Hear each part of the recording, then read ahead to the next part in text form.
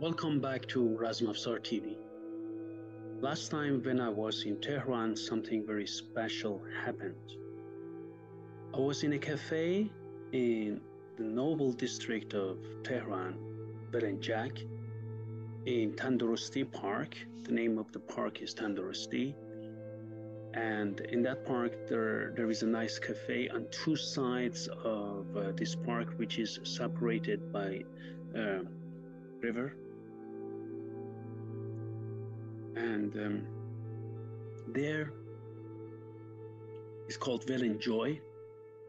And we were sitting there with uh, my mom, my son Nima, my daughter Nilofar, and my wife, having coffee, tea, some sweets.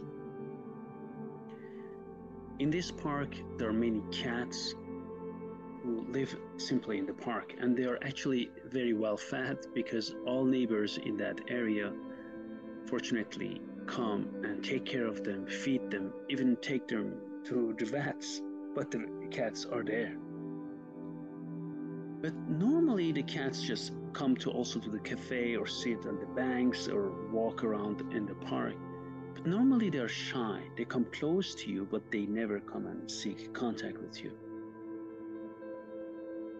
One thing which was very astonishing for me was that I was sitting in the cafe, as I said, with my family, and a beautiful Persian cat came and looked at me, an Iranian cat, and then all of a sudden came and jumped and started to sit on my lap. As you will see in the following video, the cat is just sitting there, and I looked at the cat, and then the cat started first to snort and then fell asleep.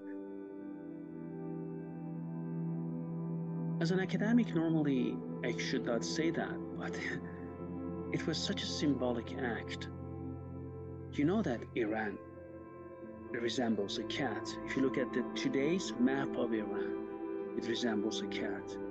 So I don't know if uh, my country, Iran, my country of origin, Iran, wanted to talk to me. Or it was my late dad. I don't know. Maybe they're all superstitions. I also don't know. But one thing which is very, very astonishing, or simply the cat wanted to communicate with me. I was sitting there like for half an hour.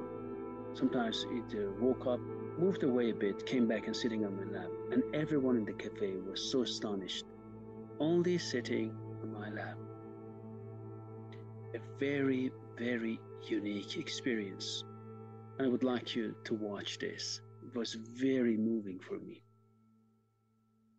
Um, thank you very much, and please watch the video.